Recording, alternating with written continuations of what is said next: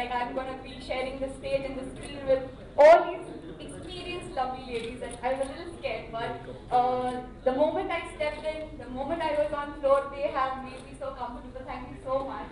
You guys are amazing. Coming to the film, Kitty Party, the name itself says it all. నేను చాలా చాలా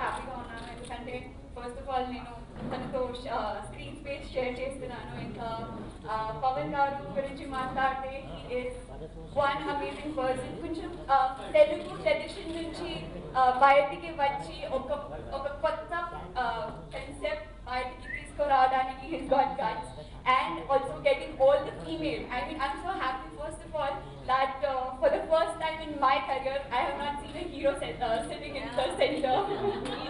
and it's all female, so it's like women power. And uh, I hope and I promise to Gupta sir that we'll make a kick-ass film and we'll make you proud. I hope the business happens and uh, for that uh, we need the support from the media, from the press and also from the audience. So I hope we uh, give a good film to you guys.